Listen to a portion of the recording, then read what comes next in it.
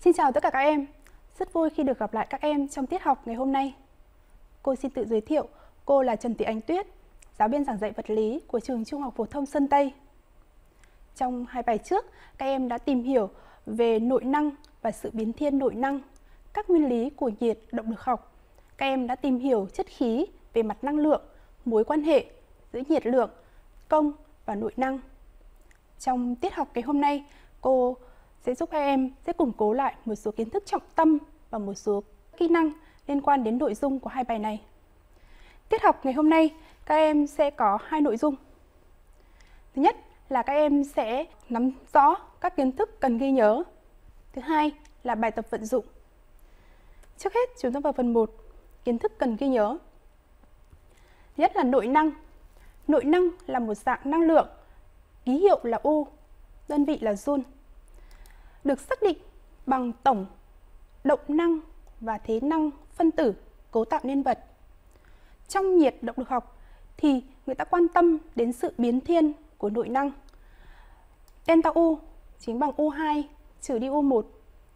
Và có hai cách để làm biến thiên nội năng, đó là thực hiện công và truyền nhiệt. Trong cách truyền nhiệt thì các em cần lưu ý công thức Q bằng M nhân với C nhân với delta T. Trong đó M là khối lượng của lượng chất, đơn vị là kg. C là nhiệt dung riêng của chất. Delta T là độ biến thiên nhiệt độ, có thể dương, có thể âm. Sau đó, nhiệt lượng Q có thể dương hoặc âm. Đơn vị kiến thức thứ hai đó là nguyên lý 1, nhiệt động lực học. Hệ thức của nguyên lý là delta U bằng A cộng Q. Các đại lượng delta U, A, Q có thể dương, có thể âm. Bởi vậy, khi sử dụng hệ thức này, các em cần lưu ý về dấu. Delta U lớn hơn 0, nội năng của vật tăng. Delta U nhỏ hơn 0, nội năng của vật giảm. Khi vật nhận nhiệt lượng thì Q lớn hơn 0. Khi vật truyền nhiệt lượng thì Q nhỏ hơn 0. Khi vật nhận công thì A sẽ lớn hơn 0. Và khi vật thực hiện công thì A sẽ nhỏ hơn 0. Để rõ hơn về hệ thức của nguyên lý một nhiệt động học, các em sẽ tìm hiểu ví dụ sau đây. Ví dụ 1. Các hệ thức sau đây diễn tả những quá trình nào? Ở trên màn hình, các em có thể thấy ở đây có bốn quá trình. Quá trình thứ nhất, A, delta U bằng Q. Khi Q lớn hơn 0 và khi Q nhỏ hơn 0. Trong quá trình này thì đây chính là quá trình truyền nhiệt. Vậy thì khi Q lớn hơn 0 thì vật nhận nhiệt và khi Q nhỏ hơn 0 thì vật sẽ truyền nhiệt. Quá trình thứ hai đó chính là quá trình thực hiện công. Khi A lớn hơn 0 thì vật nhận công và khi A nhỏ hơn 0 thì vật thực hiện công. Quá trình thứ ba delta U bằng Q cộng A. Quá trình này chính là quá trình truyền nhiệt và thực hiện công. Khi Q lớn hơn 0 và A nhỏ hơn 0, tức vật lúc này là vật nhận nhiệt và thực hiện công. Quá trình thứ tư là delta U bằng Q cộng A khi Q lớn hơn 0 và A lớn hơn 0. Trong quá trình này cũng là quá trình truyền nhiệt và thực hiện công. Khi Q lớn hơn 0 và A lớn hơn 0, tức là vật nhận nhiệt và nhận công. Các em sẽ tìm hiểu ví dụ thứ hai. Các em sẽ quan sát trên màn hình. Trong hệ tọa độ P, O, V quá trình biến đổi trạng thái khí từ 1 đến 2 khi thể tích không thay đổi thì quá trình này chính là quá trình đẳng tích. Trong quá trình đẳng tích thì delta V bằng 0, do đó A bằng 0. Vậy thì hệ thức của nguyên lý 1 sẽ là delta U bằng Q. Vậy trong trường hợp này thì toàn bộ nhiệt lượng Q mà lượng khí nhận được sẽ làm tăng nội năng của chất khí. Và cô nhấn mạnh lại, trong trường hợp này, thứ nhất là trong quá trình đẳng tích, delta V bằng 0.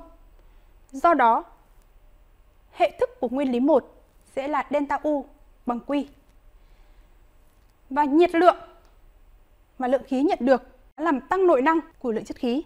Đơn vị kiến thức thứ hai, nguyên lý hai nhiệt độ khoa học thì có hai cách phát biểu. Cách phát biểu thứ nhất đó là nhiệt không thể tự truyền từ một vật sang vật nóng hơn. Ví dụ như một cốc nước nóng, khi để ở trong phòng, cốc nước nóng sẽ nguội dần do nhiệt lượng của cốc nước nóng sẽ tự truyền sang không khí đến khi nhiệt độ của không khí cân bằng với nhiệt độ của cốc nước nóng. Trường hợp ngược lại, nghĩa là nhiệt lượng tự động từ không khí trong phòng chuyển sang cốc nước nóng. Để làm cho cốc nước nóng nóng lên thì không có. Cách phát biểu thứ hai của nguyên lý đó là động cơ nhiệt không thể chuyển hóa tất cả nhiệt lượng nhận được thành công cơ học. Điều này cho thấy hiệu suất của động cơ nhiệt bao giờ cũng nhỏ hơn một. Nội dung kiến thức thứ ba cô muốn nhắc lại với các em đó chính là các quá trình của chất khí. Các em quan sát lên màn hình. Quá trình thứ nhất là quá trình đẳng nhiệt. Khi nhiệt độ của một lượng khí không đổi, khi đó ta sẽ có tích P nhân với V bằng một hằng số. Ứng với hai trạng thái khí, trạng thái 1 và trạng thái 2 thì ta sẽ có P1 nhân với V1 bằng P2 nhân với V2. Trong hệ tọa độ P, O, V thì đường đẳng nhiệt sẽ có dạng là đường hyperbol. Quá trình thứ hai đó chính là quá trình đẳng tích. Khi thể tích của một lượng khí là không đổi. Quá trình này tuân theo định luật Sackler. Ta có hệ thức P trên T là một hằng số. Ứng với hai trạng thái khí, ta có P1 trên T1 bằng P2 trên T2. Trong hệ tọa độ P, O, T thì đường đẳng tích là một đường thẳng kéo dài đi qua gốc tọa độ. Trong hệ tọa độ P, O, V thì đường đẳng tích là đường song song với trục OP và kéo dài cắt trục OV tại một điểm. Quá trình thứ ba đó là quá trình đẳng áp. Quá trình đẳng áp khi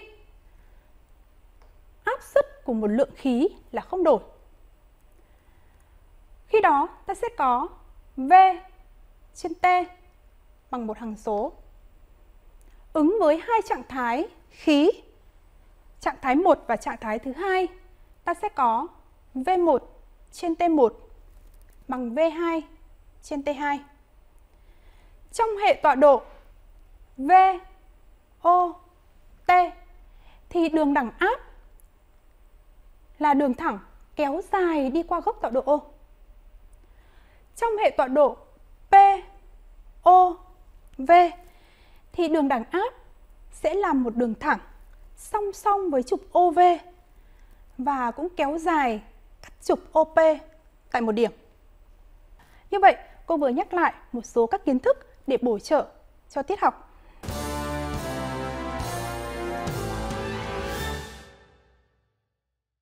Để khắc sâu kiến thức, các em sẽ tham gia trò chơi sau đây. Trò chơi của chúng ta sẽ có tên đó chính là chiếc nón kỳ diệu. Khi Kim chỉ vào số nào thì sẽ có những câu hỏi tương ứng. Các em sẽ bắt đầu. Câu hỏi đầu tiên của chúng ta đó là câu hỏi số 9. Trong các hệ thức sau, hệ thức nào diễn tả quá trình nung nóng khí trong một bình kín khi bỏ qua sự nở vì nhiệt của bình. A. Delta U bằng A. B. Delta U bằng Q cộng A. C. Delta U bằng 0. D. Delta U bằng Q. Trong bài tập này thì các em lưu ý hai từ bình kín có nghĩa là thể tích của lượng khí trong bình không đổi. Vậy khi thể tích của lượng khí trong bình không đổi thì cái hệ thức của nguyên lý 1 sẽ là delta U bằng Q. Vậy đáp án A, C, B chưa chính xác. Vậy đáp án được lựa chọn chính là đáp án D.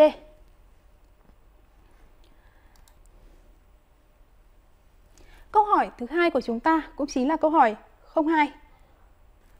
Trong quá trình chất khí nhận nhiệt và thực hiện công, thì Q và A trong hệ thức delta U bằng A cộng Q phải có giá trị nào sau đây? A. Q nhỏ hơn 0 và A lớn hơn 0. B. Q lớn hơn 0 và A lớn hơn 0. C. Q lớn hơn 0 và A nhỏ hơn 0. D. Q nhỏ hơn 0 và A nhỏ hơn 0. Trong bài tập này, vẫn liên quan đến hệ thức của nguyên lý 1 của nhiệt động học. Các em lưu ý đến hai cụm từ, đó là nhận nhiệt và thực hiện công. Khi nhận nhiệt thì nhiệt lượng mà khí nhận được sẽ dương. Vậy hai đáp án A, D có quy âm chúng ta loại. Vậy còn hai đáp án B và đáp án C các em lưu ý cụm từ thực hiện công. Khi chất khí thực hiện công tức A sẽ nhỏ hơn không. Vậy đáp án được lựa chọn trong câu hỏi này chính là đáp án C. Chúng ta sẽ đến với câu hỏi tiếp theo. Đó là câu hỏi số 8. Hệ thức nào sau đây phù hợp với quá trình đẳng tích khi nhiệt độ giảm? Các em lưu ý cụm từ đẳng tích. Vậy thì trong quá trình đẳng tích, delta U bằng Q. Vậy hai đáp án B và C chúng ta sẽ loại. Tiếp theo cụm từ đó là nhiệt độ giảm. Tức là lượng khí đã truyền nhiệt ra bên ngoài. Vậy thì khi khí truyền nhiệt, nhiệt lượng Q của chúng ta sẽ nhỏ hơn không. Vậy đáp án A loại. Đáp án lựa chọn là đáp án D.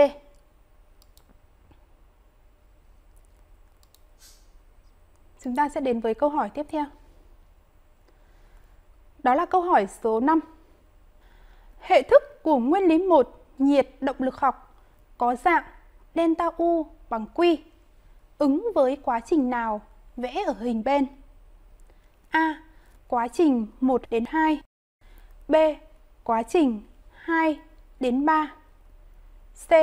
Quá trình 3 đến 4 D. Quá trình 4 đến 1 Các em chú ý lên hình Trong hệ tọa độ P, O, T thì quá trình biến đổi trạng thái khí từ 1 sang 2 các em quan sát thấy là áp suất không đổi. Quá trình này chính là quá trình đẳng áp.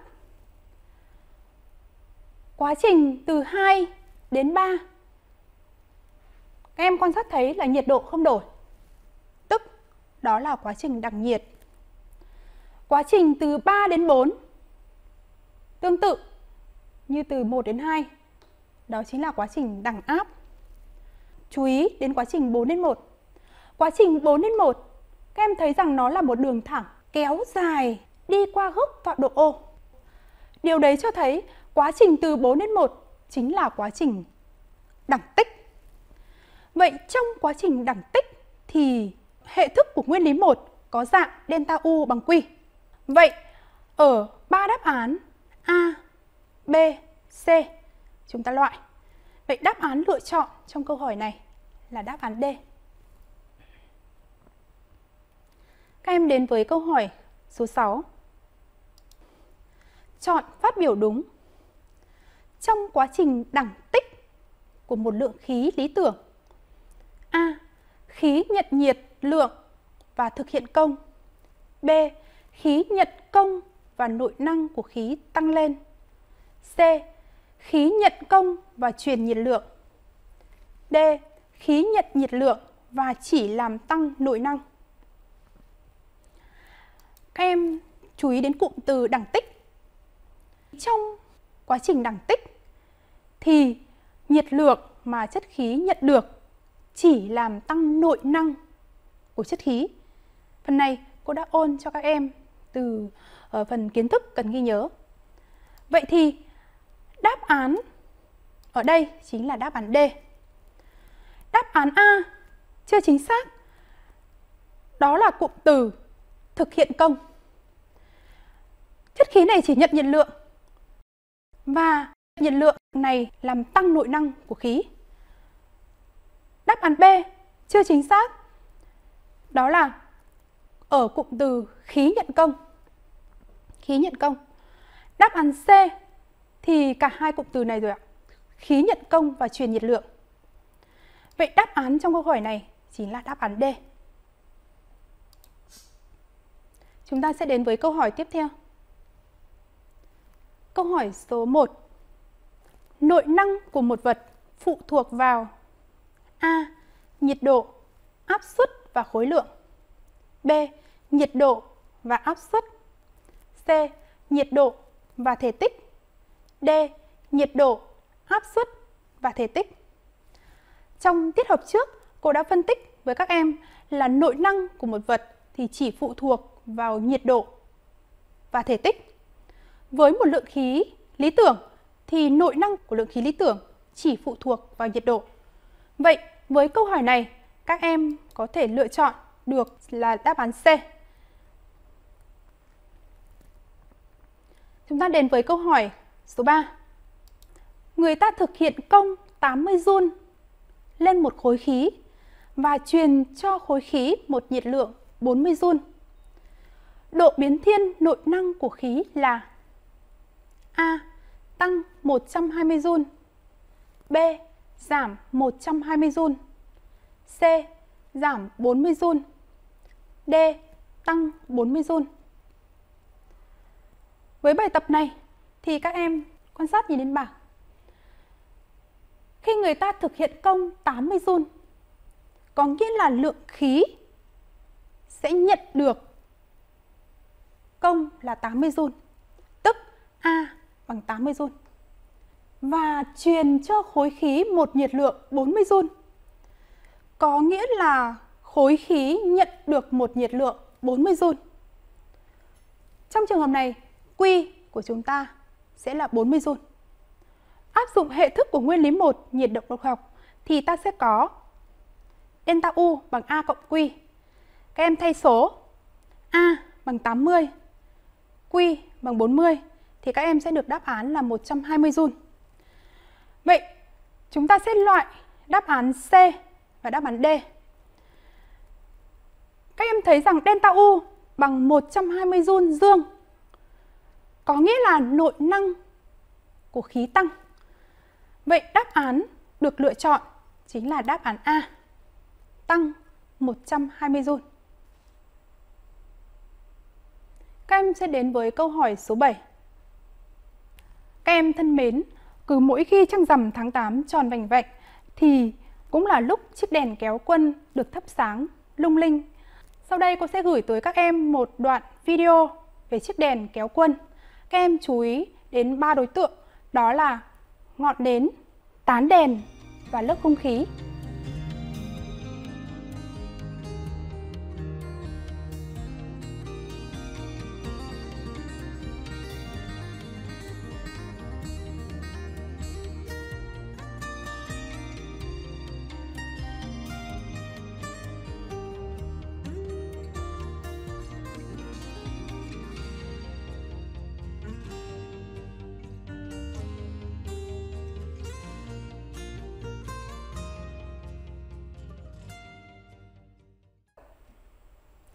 Câu hỏi số 7 như sau. Nếu để đèn vào một hộp thủy tinh kín, các em lưu ý, hộp thủy tinh ở đây phải kín, thì dù đèn điện vẫn sáng, đèn cũng chỉ quay một thời gian ngắn rồi dừng lại, không quay nữa. Tại sao đèn kéo quân dừng quay? Vận dụng nguyên lý 2 nhiệt động lực học để giải thích. Trong câu hỏi này, cô đã thay ngọn nến bằng cái đèn.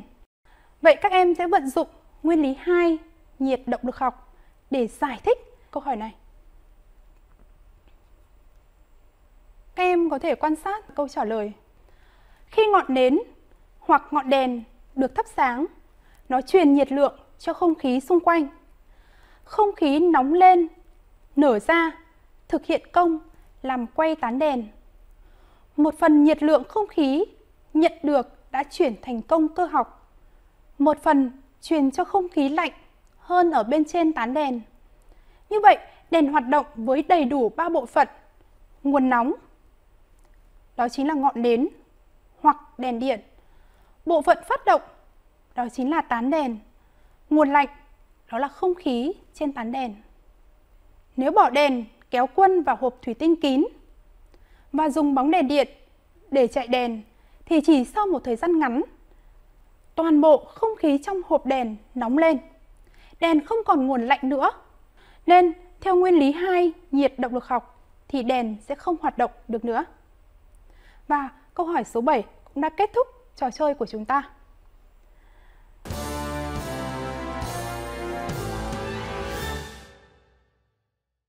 Sau đây cô sẽ hướng dẫn các em bài tập tự luận. Đồ thị bên biểu diễn quá trình biến đổi của 5 gam khí hydro. Biết ở trạng thái đầu, khí có nhiệt độ là 27 độ C. A. Tính nhiệt độ của khí ở trạng thái cuối. B. Tính độ tăng nội năng của khí. Biết nhiệt dung riêng của khí hydro là 14.300 Joule trên kg K. Cô có thể tóm tắt bài toán như sau. Khối lượng của khí hydro là 5 gram. Đổi đơn vị, các em sẽ có bằng 5 x 10 mũ trừ 3 kg. Trạng thái khí 1 có nhiệt độ là T1 và T1 bằng 27 độ C. Từ đấy, em xác định được nhiệt độ tuyệt đối T1 bằng 300K. Có áp suất P1 bằng P0. Ở trạng thái 2 có nhiệt độ T2 và áp suất là P2 với P2 bằng 2B0. Câu hỏi của chúng ta là hãy xác định nhiệt độ T2, tức là nhiệt độ của khí ở trạng thái 2. Câu hỏi thứ hai, xác định độ biến thiên nội năng của khí. Biết rằng nhiệt dung riêng của khí hydro là 14.300 Joule trên kg K. Trước hết, các em quan sát đồ thị trong hệ tọa độ P, O, T. Các em thấy rằng đồ thị biểu diễn quá trình biến đổi trạng thái khí từ 1 sang 2 là một đường thẳng kéo dài đi qua góc tọa độ Vậy, quá trình biến đổi trạng thái khí này chính là quá trình đẳng tích. Ở trong quá trình đẳng tích, các em sẽ áp dụng định luật Sackler. Các em sẽ tìm được nhiệt độ T2. Áp dụng định luật Sackler cho hai trạng thái 1 và 2, các em sẽ có P1 trên T1 bằng P2 trên T2 và áp dụng tính chất của tỷ lệ thức ta sẽ có T1 trên T2 bằng P1 trên P2 bằng tỷ số 1 phần 2. Từ đây ta suy ra T2 bằng 2T1 và bằng 600K hay T2 bằng 327 độ C. Trong quá trình đẳng tích thì delta U chính bằng Q. Và khi đó ta áp dụng luôn công thức Q bằng C nhân với m nhân với delta t. Các em thay số, các em sẽ được đáp án là 21.450 joule. Trong bài này, các em lưu ý thêm quá trình biến đổi trạng thái khí này là quá trình đẳng tích. Và em thấy nhiệt độ nó tăng. Nhiệt độ tăng. Thì quá trình này là quá trình đẳng tích và tăng nhiệt độ.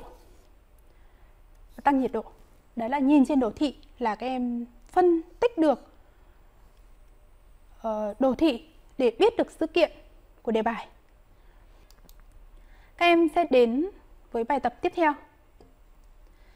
Để xác định nhiệt độ lò, người ta đưa vào lò một miếng sắt khối lượng 22,3 gam. Khi miếng sắt có nhiệt độ bằng nhiệt độ của lò, người ta lấy ra và thả ngay vào một nhiệt lượng kế chứa 450 gam nước ở nhiệt độ 15 độ C. Ở trạng thái cân bằng, nhiệt độ của nước là 22,5 độ C. Xác định nhiệt độ của lò, biết nhiệt dung riêng của sắt là 478 Joule trên kg K và của nước là 4.180 Joule trên kg K. Coi sự hấp thụ nhiệt của nhiệt lượng kế là không đáng kể. Trên hình cô đã gạch chân hai ý đều màu vàng. Điều đấy cho thấy ở trong đề là người ta cho khối lượng của sắt là 22,3 gam. Và nhiệt dung riêng của sắt là 478 Joule trên kg K. Sắt được nung nóng ở trong lò đến nhiệt độ. Cô giả sử nhiệt độ đó là T1.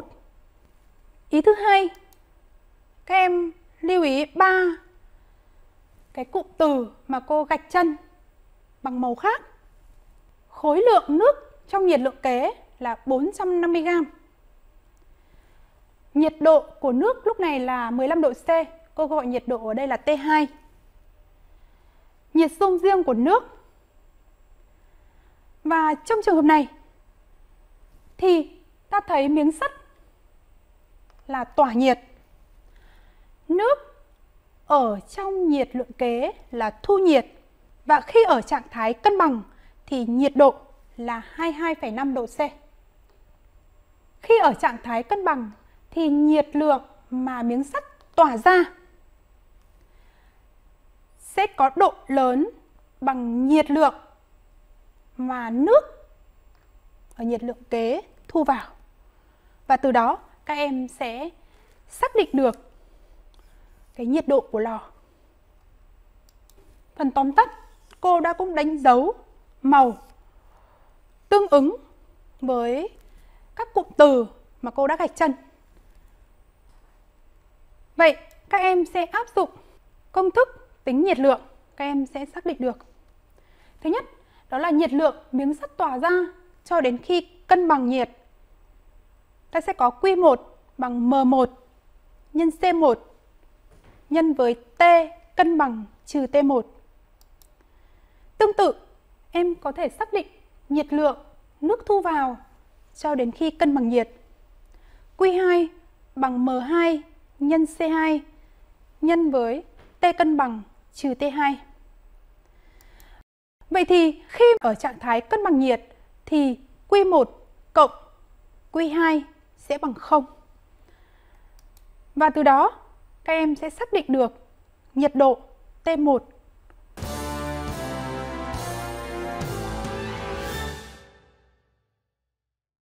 Sau đây, cô sẽ giao một bài tập về nhà cho các em.